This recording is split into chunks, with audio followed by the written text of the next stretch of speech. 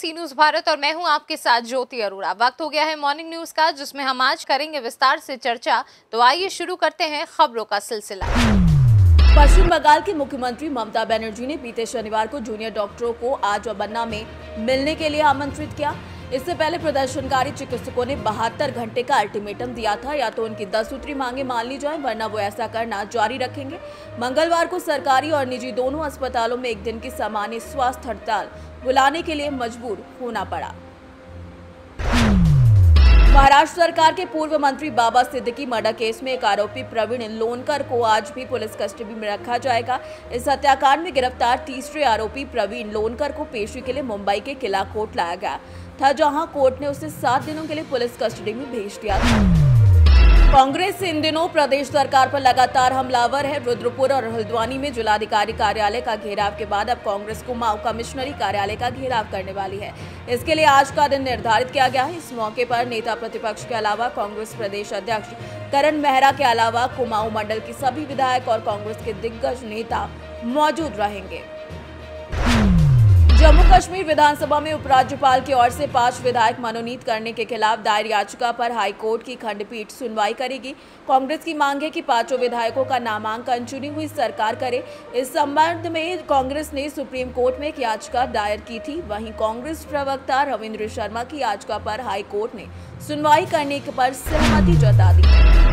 नोएडा से सैकड़ों किसान ट्रैक्टर और अन्य वाहनों के साथ आज ज़ीरो पॉइंट नियर परी चौक पर कूच करेंगे। बता दें कि इसको लेकर भारतीय किसान यूनियन ग्रेटर नोएडा के ज़ीरो पॉइंट पर होने वाली महापंचायत की तैयारियाँ पूरी कर ली गई इस संबंध में नोएडा महानगर अध्यक्ष राजवीर मुखिया के नेतृत्व में गाँव आगाहपुर के शिव मंदिर पर एक महत्वपूर्ण बैठक का आयोजन किया गया। मध्य प्रदेश लोक सेवा आयोग ने राज्य सेवा मुख्य परीक्षा 2024 के लिए तारीखों का ऐलान कर दिया। मुख्य परीक्षा आज से लेकर 26 अक्टूबर तक होगी। परीक्षा को सुचारू रूप से चलाने के लिए पर्यवेक्षक भी नियुक्त किए गए मध्य प्रदेश के देवरी कला में मुख्य कार्यपालन अधिकारी जनपद ने बताया कि सुबह साढ़े दस बजे सामुदायिक स्वास्थ्य केंद्र में दिव्यांग शिविर लगाया जा रहा है, जिसमें दिव्यांगजनों का परीक्षण किया जाएगा। शिक्षक बेरोजगारों को रोज़गार उपलब्ध कराने के लिए श्रम संसाधन विभाग, जिला नियोजनालय के माध्यम से लगातार जॉब कैंप आयोजित किया जा रहा है। वहीं बेगूसराय में इस साल का सबसे बड़ा रोज़गार मेला लगाया जा रहा है। बता दें कि रोज़गार मेले में तकरीबन 4000 लोगों को जॉब दी जाएगी।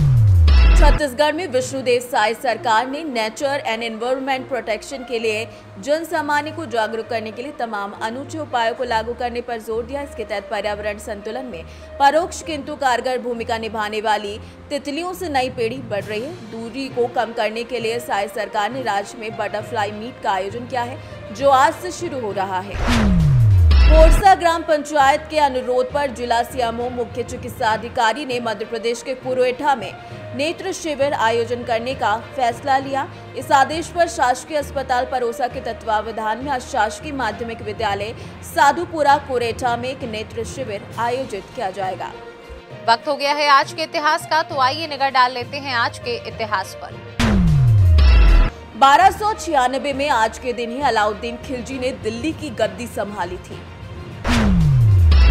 अठारह में आज के दिन ही बिहार के प्रथम मुख्यमंत्री कृष्ण सिंह का जन्म हुआ था।